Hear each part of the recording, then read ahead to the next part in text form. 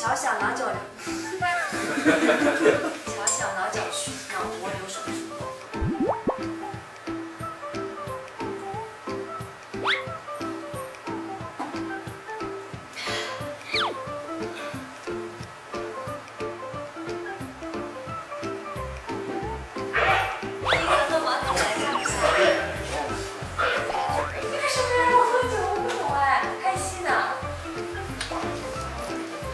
因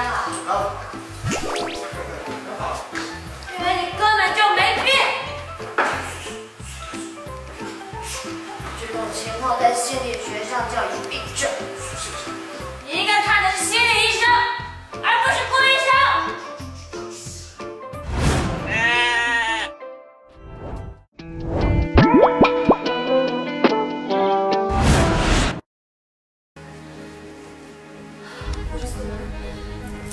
现在现在在华人医院手术室里面，她二次动脉瘤破裂了。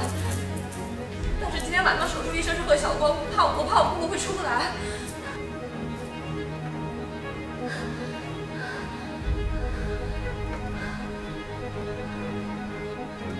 哥。